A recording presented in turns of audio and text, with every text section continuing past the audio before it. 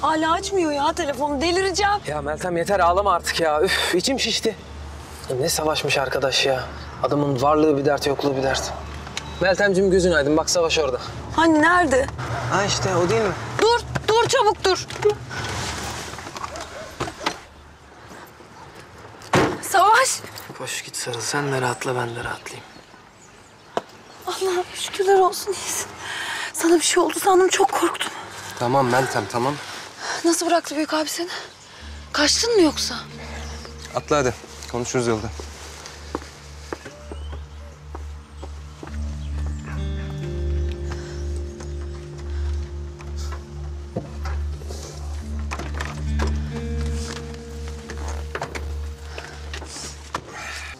Ne oldu? Ne dedi büyük abi sana anlatsana. Oho uçmuş bu. Oğlum aşık mısın lan? Kız helak etti sabahtan beri kendini. Sana zahmet bir ne oldu ne bitti anlat ha.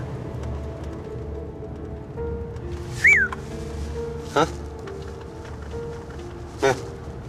Savaş büyük abi bir şey mi yaptı sana? Ha. Yok ya. Yeni bir görev verdi de. Onu düşünüyordum. Ne görevi? Ya bir tane şifacı mı ne bir tip varmış. Onu bulacağız. Bulacağız derken böyle hep beraber bu kadro mu bulacağız? Abi ben bir süre hayatımda aksiyon istemiyorum ya. Malum Kıvanç olayını yeni atlattık. Çok şükür çocuk sapasağlam hayatta. Ne diyorsun lan sen? Abim ölmedi mi? Nasıl kurtulmuş peki? Oğlum nasıl kurtulduysa kurtuldu lan sana ne? Dua et kurtuldu. Abi bütün polisleri başımıza mı salmak istiyordun? Manyak lan bu. Savaş! Ha bu da manyak. Topunuz alayınız manyaksınız lan sizin. Manyak manyağı ne güzel. Ne var?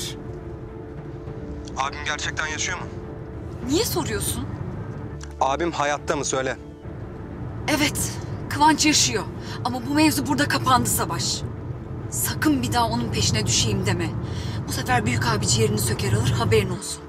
Ee, geç bunları. Hastaneye mi kaldırmışlar abimi? Savaş! Hastanede mi yoksa ayaklanmış yürüyor mu? Evde. Durumu da gayet iyi. Ya niye soruyorsun hala? Sence? Çalıştır bakayım kafanı. Lafı dolandırma. Adam gibi ne diyeceksen de. Abimi en son bıraktığımda vücudunda kocaman bir delikle son nefesini veriyordu.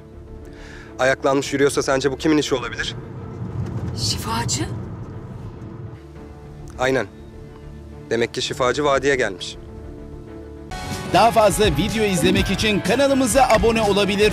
İlk izleyen olmak isterseniz bildirimleri açabilirsiniz.